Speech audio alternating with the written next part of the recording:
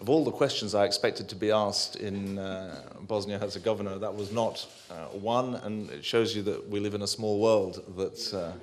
uh, that, that, that could happen. Uh, the Home Secretary, who is the decision maker in the question of uh, visas in the UK, has made clear that the conditions were changed by the convictions that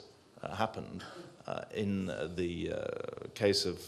Thaksin, and it's a follow-up to those decisions that you've now seen uh, the change in the visa approach.